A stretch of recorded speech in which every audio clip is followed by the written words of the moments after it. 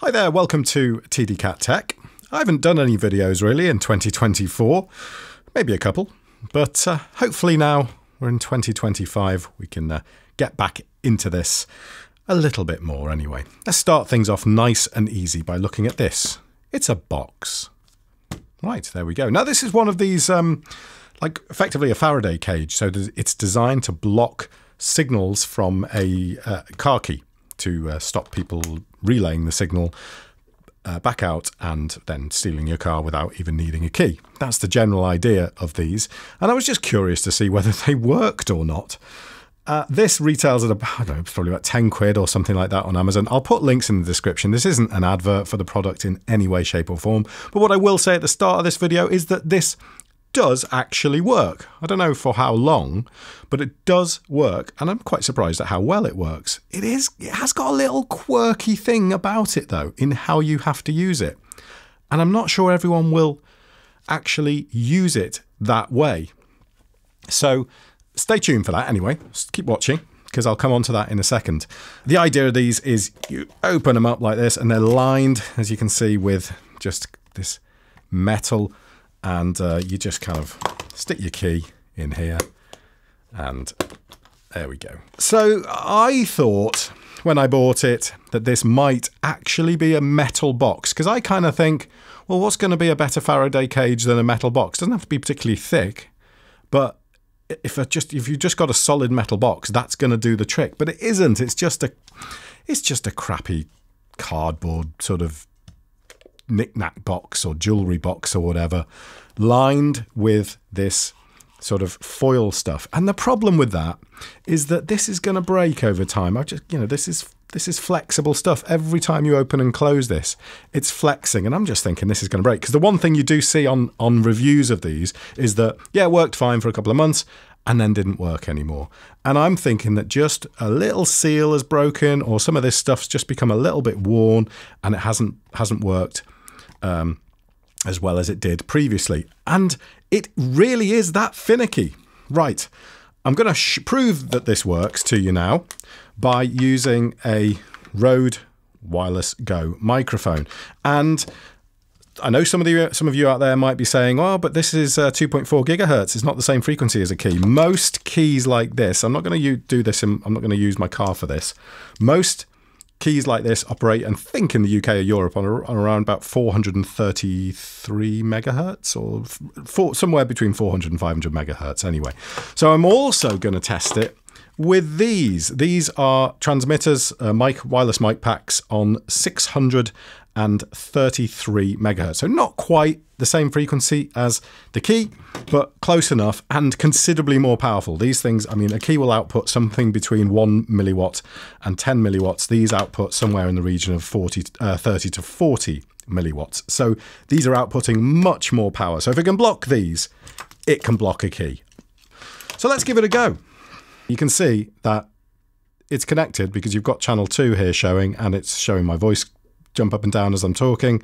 So I'll tell you what, let's put the transmitter, and we'll go for the transmitter because that's obviously the bit, that's the part that the key plays, the transmission side. And we're going to pop this in here like this. So let's close that up. And what do we have? Well, oh, it's it's there. It's not it's not perfect. Uh, let's just move the box a little bit further away and uh, yeah, it's glitchy. It's glitchy, but it is still there. A little bit. There we go. And you can see from that that the signal now has completely gone. So the box is what 40 centimeters away from the. Uh, so the transmitter is 40 centimeters away at the moment, and the signal has completely gone. It can't get a lock on that. If I bring the box a little bit closer, it, it does manage to get out. But that's acceptable, right? Because these, again, are going to be a little bit more powerful. So let's give these a try. This is the transmitter. So let's turn that on. So what we can see on here, that's this signal on the left here, that's the RF signal. So you can see that it's, it's like right up to the top now, which is obviously going to be the case because the, uh, the transmitter's right next to it. So I'm going to pop the transmitter into the Faraday cage or into the key box. Don't worry about the fact I'm turning the aerial round and things like that. Doesn't make any difference. So what, what have we got on here now? So already you can see that with the two being about 30 centimeters apart, that signal is down to half already. Less than half on the signal meter there on the left hand side. If I move this further back now, watch that completely drop away. So I'll just put this about a meter away. So this is now a meter away. And our signal has pretty much dropped to nothing, which is fantastic. I mean, again, I stress, yes, the frequencies are slightly different on these, but the signal is much, much higher than it would than you'd be transmitting from a key. And look, the signal is completely gone. So you heard me mention before that people don't necessarily or won't necessarily use these exactly as they need to. Because the thing that surprised me the most about these is the fact that if you shut this, right, you've got all this kind of stuff around here and you've got this seal here. Let's just pop that in there, make sure that's tucked away. So you've got that seal there.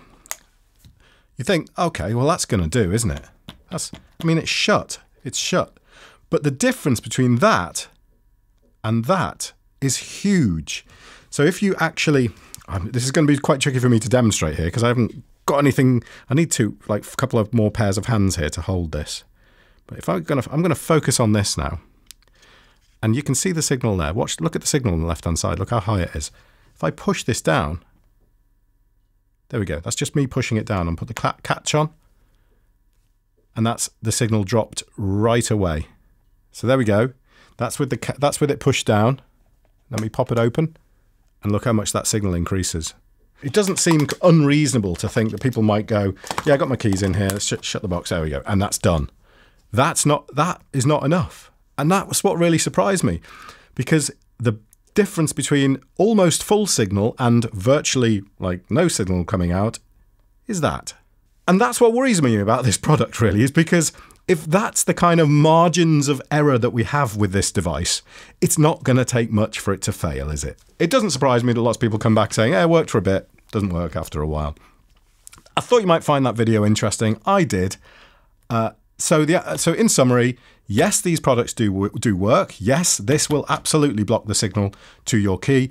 And if it doesn't block it absolutely entirely, it will reduce it like to a to a level that is not going to be a concern unless you keep your unless you keep this box by your letterbox and the people who are trying to relay your signal are by your letterbox or something something like that. But um, but yeah, they do work, but I don't think they're particularly good quality and they're not going to last. Thanks for watching.